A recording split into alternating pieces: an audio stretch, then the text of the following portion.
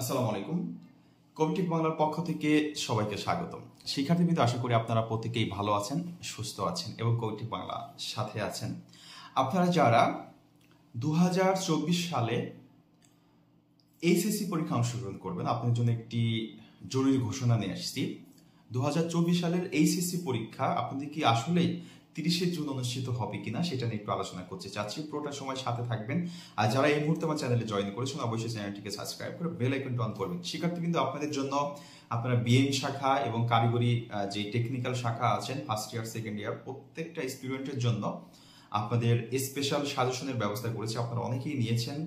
যে সময়টা আছে, এক মাস প্রায় সময় আছে, এক মাসে আপনি কীভাবে সিলেবাসটা শেষ করবেন, একটা শর্ট সিলেবাস একটা শর্ট সাজেশন আপনার জন্য কিন্তু খুবই জরুরি। সেই শর্ট সাজেশন শর্ট সিলেবাস আমি আপনাদেরকে প্রোভাইড করছি, দিচ্ছি।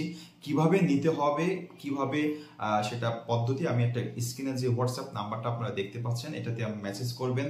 কীভাবে নিতে হয়, নেওয়ার পদ্ধতিটা আমি বলে দেবো। শিক্ষার্থীবৃন্দ, যে সময়টা আছে, এই সময় আপনি পরীক্ষার যে সময়টা আছে সাজেশনটা নিয়ে পড়াশোনা করুন ইনশাল্লাহ ভালো একটা রেজাল্ট করতে পারবেন। আশা করি সিলেবাসটা শেষ করতে পারবেন। এখন আমি যেটা বলতে চাচ্ছি যে, আপনার পরীক্ষা তিরিশে জুন আপনাদের রুটিন দেওয়া হয়েছে। এখন আপনারা বিভিন্ন মাধ্যমে দেখতে পাচ্ছেন পরীক্ষা পিছানো হয়েছে বা পরীক্ষা নির্দিষ্ট টাইমে হবে না কিসের জন্য হবে না?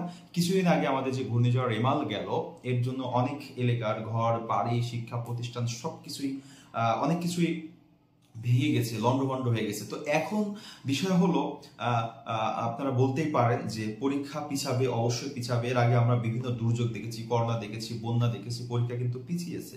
হ্যাঁ তো এখন আমাদের যেহেতু কারিগরি শিক্ষা বোর্ড সারা বাংলাদেশে একটাই সেই ক্ষেত্রে পরীক্ষা পিছাতে হলে সারা বাংলাদেশে একসাথে কিন্তু পিছাতে হবে, যেহেতু প্রশ্ন, পদ্ধতি, প্রশ্ন সারা বাংলাদেশে একই রকম। আর অন্যান্য যে বোর্ড আছে, সেই বোর্ডগুলো কিন্তু এক এক অঞ্চলে, বিভাগে এক এক বোর্ড, সেই ক্ষেত্রে যে কোনো একটা বিভাগে পরীক্ষা বন্ধ থাকলে কোনো প্রবলেম হবে না। যেহেতু প্রশ্ন পদ্ধতি প্রশ্ন আলাদা। কিন্তু কারিগরি শিক্ষা বোর্ডের অধীনে যারা আপনারা এইচএসসি পরীক্ষা অংশগ্রহণ করবেন, পরীক্ষা কিন্তু তিরিশে জুন হবে কি না, সেটা একটা বিষয় রয়েছে।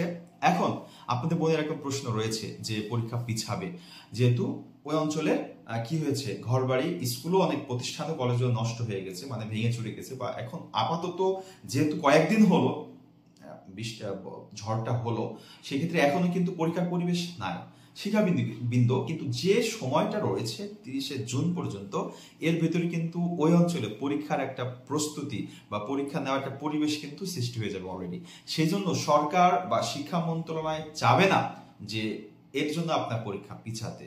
আর যেহেতু রুটিন দেওয়া হয়ে গেছে, পরীক্ষা পিছানোর এমন কোনো অপশন আমার মতে আসতেছে না। আপনাদের মতে কি আসে জানি না। আমি যতটুকু চিন্তা ভাবনা করছি, যতটুকু গবেষণা করি, যতটুকু আপনাদের নিয়ে কাজ করি, আমার মনে হয় তিরিশে জুন পরীক্ষা হান্ড্রেড পার্সেন্ট হবে।